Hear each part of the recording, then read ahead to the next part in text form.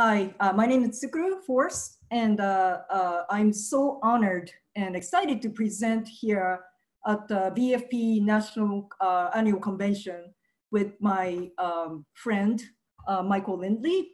So uh, the two faces nuclear, the title, you know, from Fukushima to, from Hiroshima, Nagasaki to Fukushima, um, is, it comes from like my very personal experience and uh, my, my journey uh, as an activist.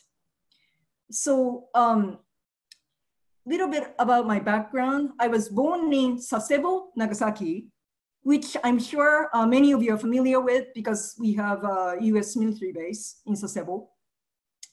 And uh, so I spent my uh, 12, first 12 years of my life in Sasebo, Nagasaki. And I ended up in a school in Hiroshima with 350 students uh, died on August 6th, or because of the A bomb. You know, they may they may have lived like after that, but um, as a result of the bomb, uh, they died. 350 young lives were lost. So um, so you know, having that kind of like personal, uh, intimate experience and relationship with the victims of A bomb. Uh, many of my many of teachers uh, at my school were survivors and also like you know um, when you go to a school like that in Hiroshima, uh, almost everyone that you know, like everyone that you you know your classmates, uh, has someone in their life uh, who either died because of the bomb or who were affected, uh, you know, by the bomb. So you know, I I always considered myself, you know, uh, being aware of the issue, you know, being aware of the danger of nuclear. And uh, I spent my adult life, you know, kind of going about my own business. And um, um, so when Fukushima Daiichi nuclear disaster happened in 2011, it was personally shocking and devastating to me because, as I said, I consider myself as highly aware individual. But I was completely blindsided by this because I wasn't aware of this part, this side of nuclear. So, um, you know, even though I went to this school in Hiroshima, uh, who you know uh, is very much uh, involved and uh, uh, in peace education. You know what I realized after Fukushima is uh, you know I almost never we almost never heard about nuclear power, nuclear energy, because it was always you know ever since the war it was always advocated in Japan as a peacetime use of nuclear so there was like a bad side and good side of nuclear. You know, bad side being a nuclear weapons. So we say like, okay, so we should never have that, use that, you know, um, like that. And, and good side of nuclear, which is nuclear power, nuclear power plants, nuclear energy. Yeah, so that's the way to the future. You know, we have to utilize that. So that was like what we were taught.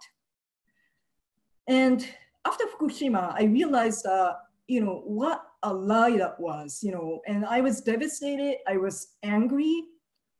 Um, I was angry, uh, most of all, at myself actually, because um, you know I I just couldn't understand like why I didn't see that, why I didn't I didn't see, you know, these were uh, two sides of the same coin: nuclear weapons and nuclear power, you know, nuclear energy.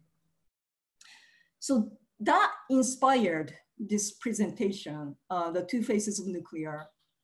And uh, uh, that brings me the purpose of today. Um, so the purpose of today, I'm just gonna tell you upfront so that we have the same understanding. Um, so, you know, ever since Fukushima, I started to realize and I started to kind of obsess actually about the need for education uh, in, in the danger of nuclear. And uh, the education is uh, almost non-existent.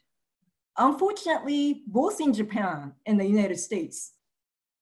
This may surprise you, uh, surprise you all, but in Japan, unless you go to school, like my, you know, like my school in Hiroshima or Nagasaki, uh, you really do not learn much about uh, what happened in Hiroshima and Nagasaki.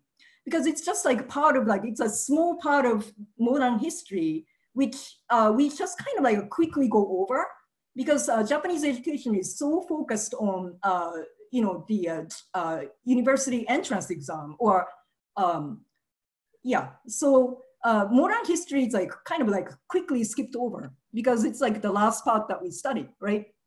So as a result we don't really learn much about A-bomb experience but I think, you know, it's, uh, there's a great need, you know, obviously, I think I'm speaking to the choir, but uh, obviously there's a great need uh, to teach young people and also about like grown-ups about what happened in Hiroshima and Nagasaki. But not only that, you know, as, as people talking about uh, in, the, in yesterday's session, there's a great need to talk about all people who were uh, victims and survivors of all nuclear atrocities. So not only Hiroshima, Nagasaki, Fukushima. So, um, so today's, you know, the purpose of the presentation today is uh, to inspire you, uh, if it's possible, inspire you, inspire all of us together uh, to do sort of community-based education in your own communities, in your own local areas. And um, uh, I will use resources that are available to you for free, mostly. Uh, actually, for all of us, all of us, all of us free. So uh, whatever I present today, actually, you can do this also uh, with free resources that you can reach out to.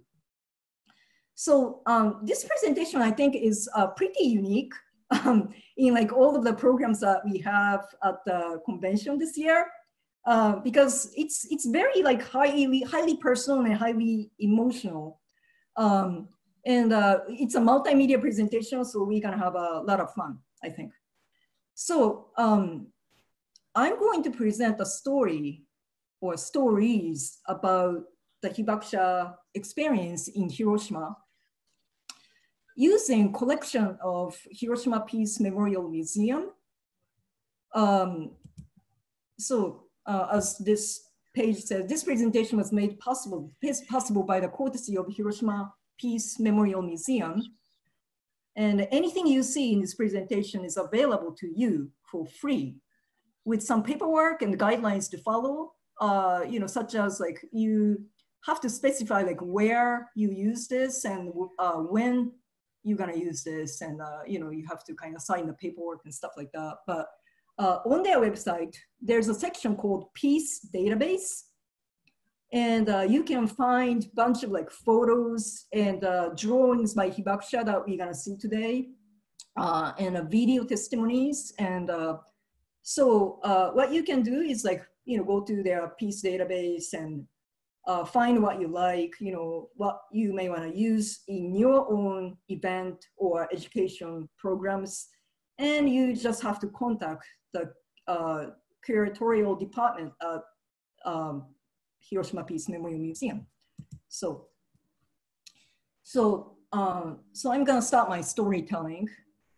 So um, when we hear Hiroshima, uh, unfortunately, I think the uh, image that we have is a devastated city by uh, the A-bomb.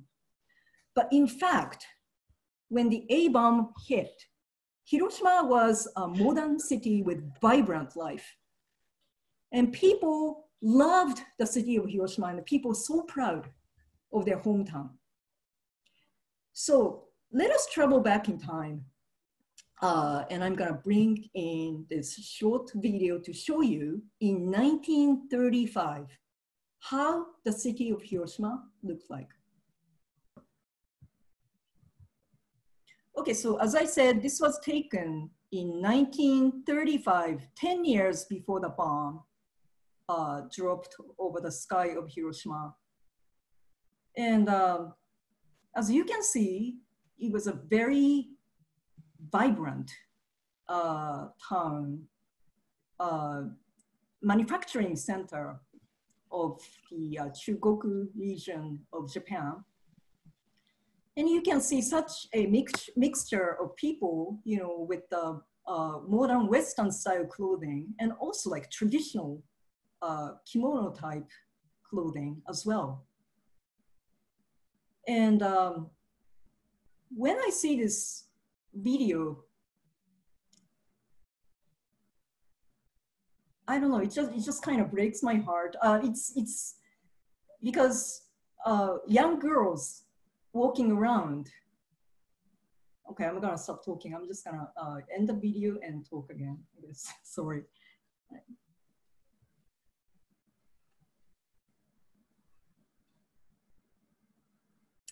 Okay.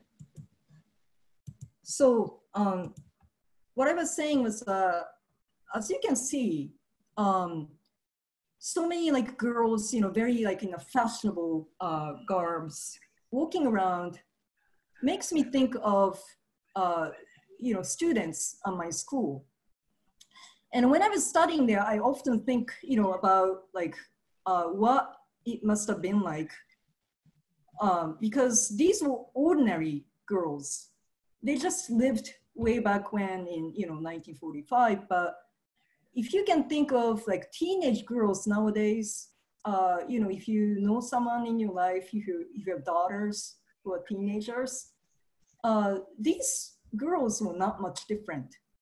Uh, of course, that was a wartime, so you know things were short. You know, like they didn't have a lot of things but you know because like they wanted to uh, be fashionable they did things like you know with the uh, uh, inside of their kimono uh, they may get like a little remnant of fabric which is like you know uh, colorful uh, with the colorful patterns and stuff like that and they they sewed it on onto their kimono so that they can just kind of experience a little bit of their individuality in wartime. So they were like ordinary girls, you know, who liked chatting with friends and stuff like the hanging out and, and, you know, this happened.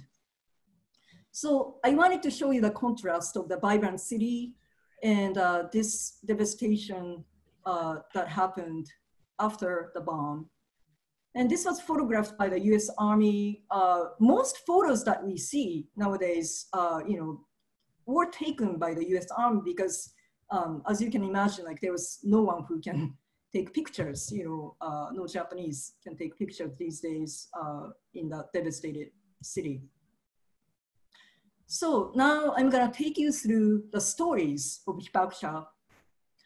Um, so many people talk about uh, Pika Don. Pika means flash and don is the blast.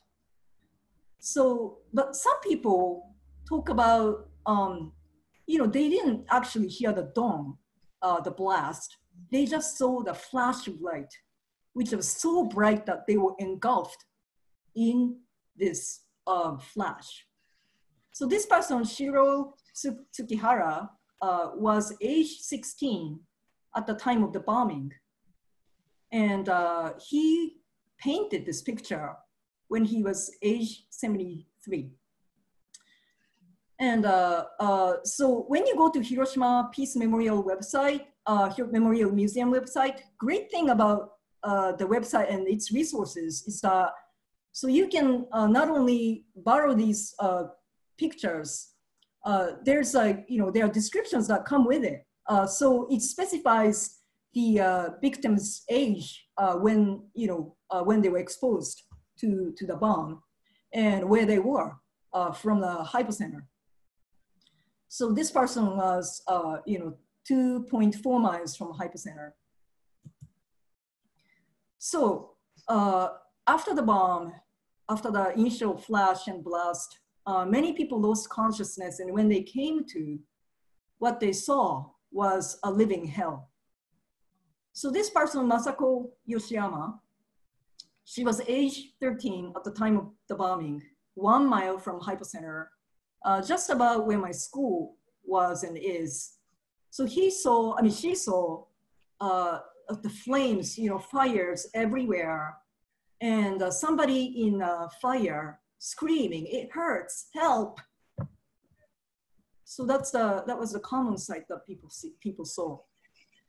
Another sight that was mentioned, that's mentioned often by the survivors, were the river and uh, uh, river full of bodies, uh, people trying to escape from the heat and fire, and also uh, people wanting to drink from the river.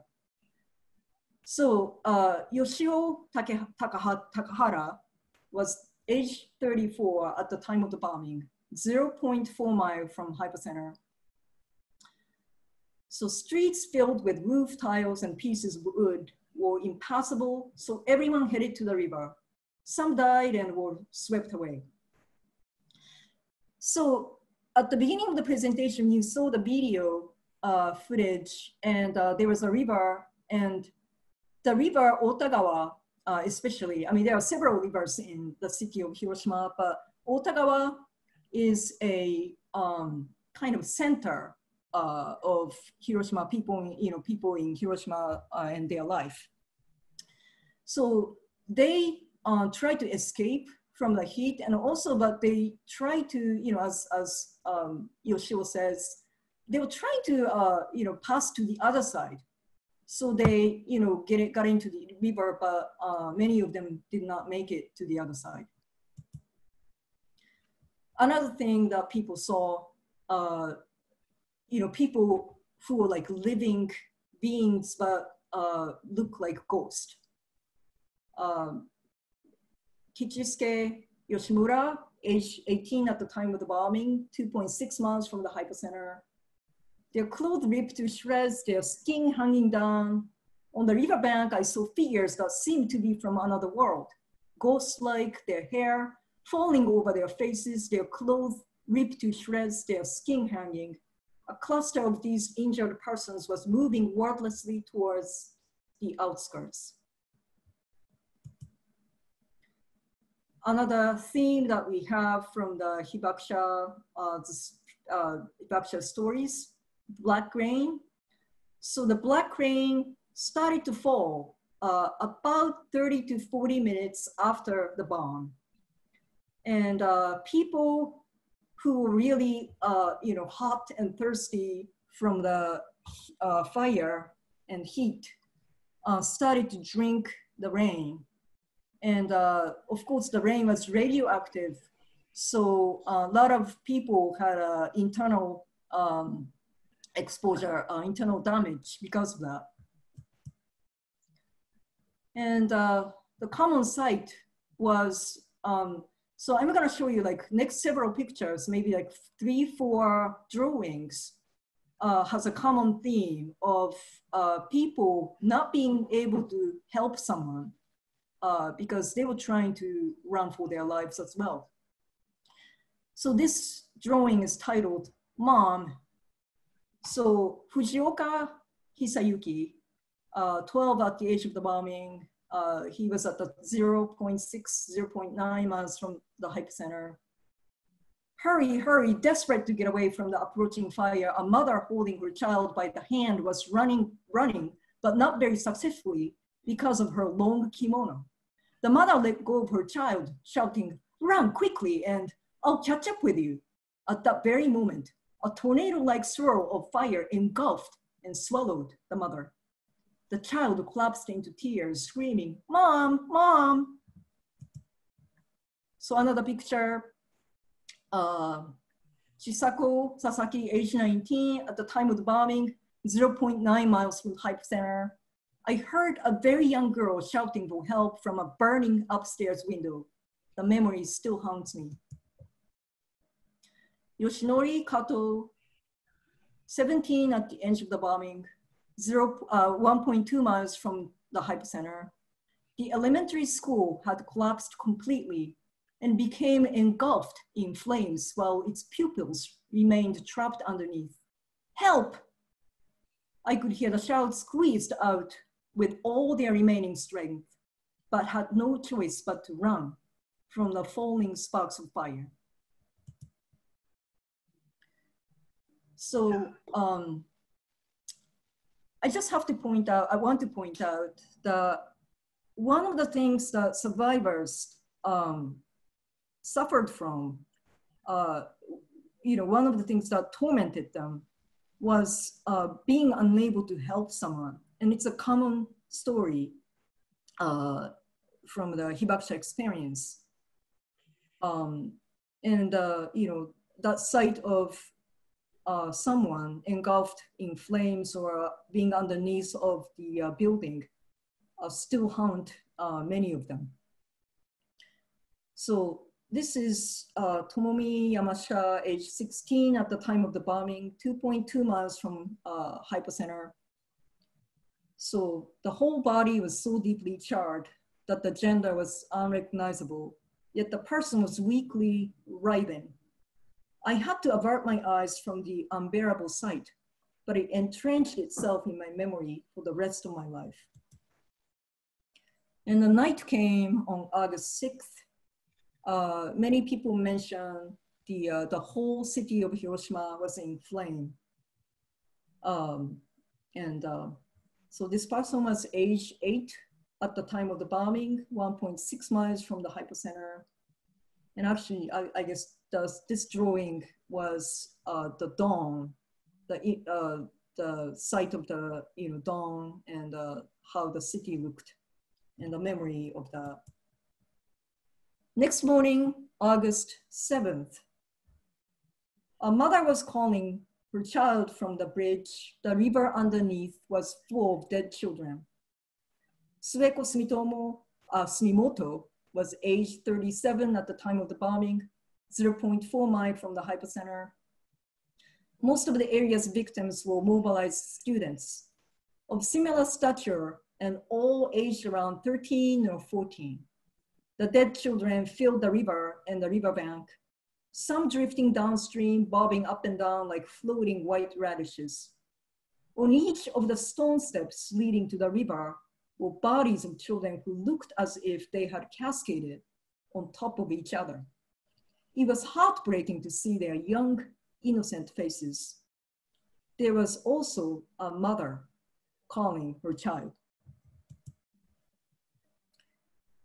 And uh, so next, including the previous one, next three, four pictures, a common theme is mother and child. So this picture was drawn by Kazuo Matsu, Matsu, uh, Matsumuro. Uh, he drew this at age 61, but he was age 32 at the time of the bombing, 0.5 miles from hypocenter. Where shall I burn the body of my dead child? White maggots crawled in the face, burns of the child she carried on her back.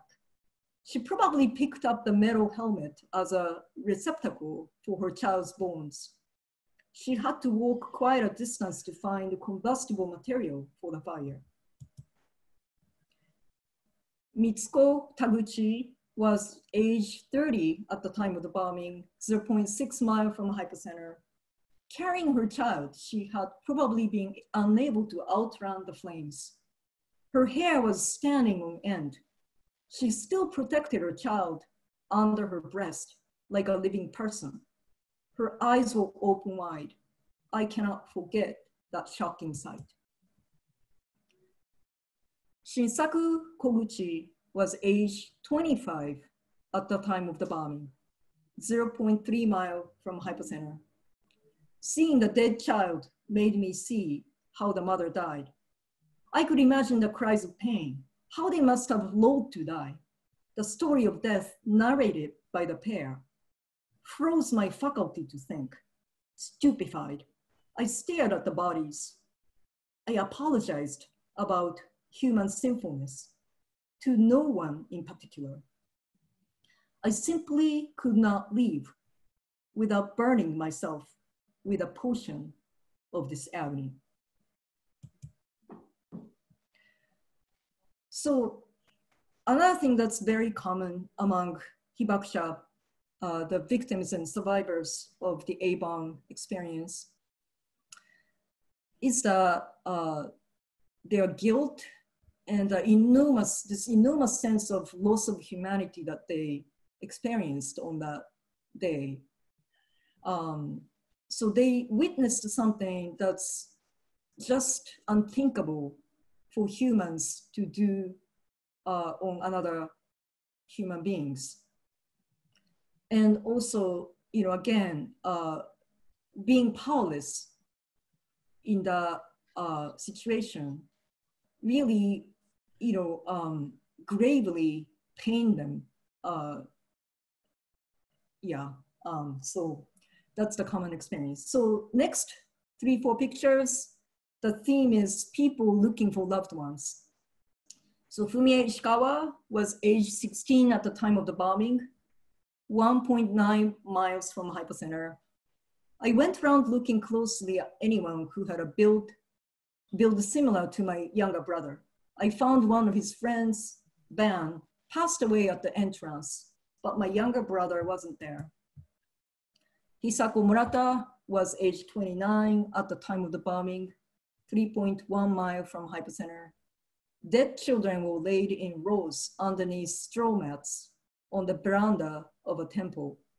An injured mother, looking distraught, was turning the mats over one by one in search of her child.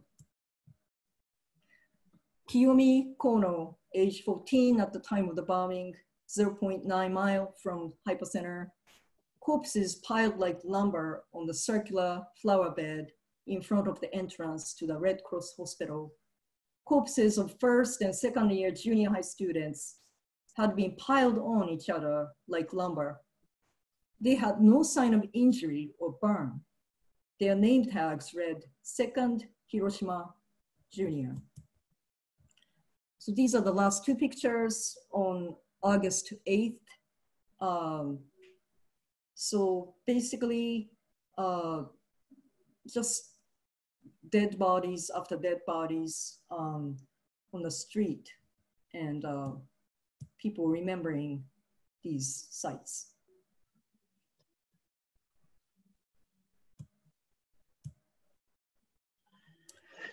So um, I'm just gonna switch to um, myself uh, and uh, you know, actually, uh, I'm realizing that like I spent so much time like going through that picture, running out of time, and I prepared so many things for you. Um, but you know, the point of this presentation, so I'm not gonna go over all of them today, but what I wanted to say uh, is that you can use this kind of resources. And uh, I, am not gonna show this uh, to you today, but there are video recordings, uh, video testimonies of hibakusha available for free as well. Uh, and not many of them are translated into Japanese, I mean, into English, unfortunately. But uh, there are ways to present that also in your own communities. So that what's great about the drawing store, uh, so I've hosted uh, many events uh, relating to anti-nuke and one of the debates that we have uh, always is, uh, so are the pictures too graphic, you know, for people to see?